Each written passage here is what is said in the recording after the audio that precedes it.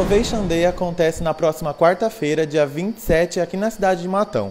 O evento será realizado no IFSP a partir das 8 horas da manhã. Aqui ao meu lado eu tenho o diretor-geral do IFSP, Christian Davis Tosta, que vai explicar um pouquinho mais sobre o evento. Christian, como foi criado o evento? Qual a importância dele? O evento nasceu de algumas conversas né, com a Secretaria de Desenvolvimento né, de Matão, a Secretaria de Educação, onde identificamos um grande potencial que o Instituto tem de participar no desenvolvimento não só de Matão, mas da região, é, e que essa ponte né, da universidade ou do Instituto com as empresas ela não, é, não existe. Então o evento nasceu dessa conversa de forma a gente mostrar pra, pra, para os empresários né, que nós temos esse potencial então e que ele pode, nós podemos gerar soluções para as empresas. Então isso vai participar no desenvolvimento regional, vai gerar trabalho e claro para o empresário a questão de lucro é muito importante. Então pode aumentar o lucro na empresa e por parte do, do instituto o que, que nós ganhamos? O nosso aluno quando ele é envolvido com a pesquisa ele ele acaba aprendendo muito mais.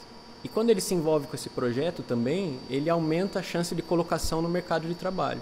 Então, é uma forma de estreitar realmente esse relacionamento entre universidade e empresa. E Christian, qual é a programação do Innovation Day? Ele está programado para acontecer só no período da manhã. Então, a ideia é um, é um breve é, cerimonial de boas-vindas. E nós teremos quatro ações importantes. Uma delas é, é uma palestra sobre a lei do bem. Por que, que essa palestra é importante? Essa lei do bem é a lei que garante que o empresário que financie projetos de inovação e de pesquisa, ele, ele consiga retornar uma parte significativa desse dinheiro através de isenção de impostos. Então, aí algo em torno de 20 minutos, meia hora, nós vamos explicar né, os detalhes dessa lei.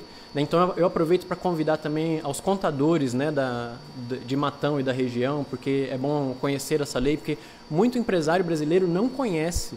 Então, as grandes empresas multinacionais captam esse recurso né, via isenção de impostos, e o empresário, às vezes pequeno, médio, até o grande aqui de, de, de nosso estado, da nossa cidade, não sabe nem que existe essa possibilidade. Depois nós vamos ter uma palestra com a nossa pró-reitoria de pesquisa.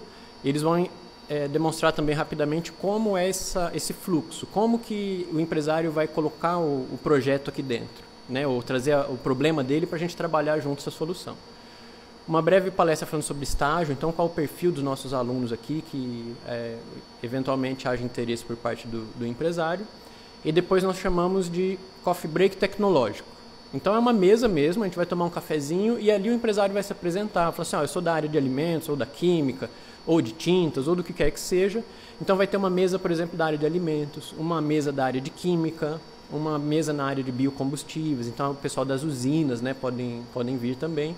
E ali então o empresário vai falar, oh, eu sou da empresa tal, meu problema é esse, aí vai conhecer o professor, não, eu sou, eu sou professor dessa área, então a gente pode estreitar mais o contato. Se o professor não é da área, ele passa para quem é da área e vai finalizar então é, com uma visita à nossa estrutura. Né? Então nós estamos fazendo essa matéria aqui no ambiente, por exemplo, com, em um laboratório que tem algo em torno de 4, 5 milhões de reais de equipamentos que a gente usa durante o dia para as aulas mas eles podem funcionar 24 horas.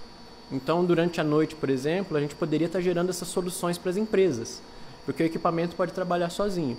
Então, aí o empresário vai conhecer a nossa estrutura, né? eu, eu citei esse laboratório, mas ao todo aqui, só de equipamentos, são 15 milhões de reais né, de equipamentos, e que, de novo, para o empresário, às vezes, equipamentos da, da ordem de 600 mil reais, 700 mil reais, não compensa para o empresário, sai muito caro para ele, sendo que ele pode usar o nosso aqui.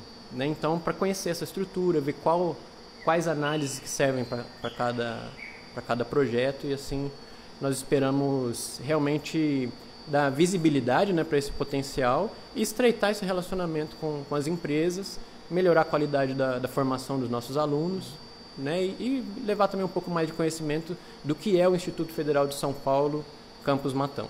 A entrada é gratuita e o credenciamento pode ser feito através do site mto.ifsp.edu.br barra IDEI. Prefeitura de Matão, juntos pelo caminho que sonhamos.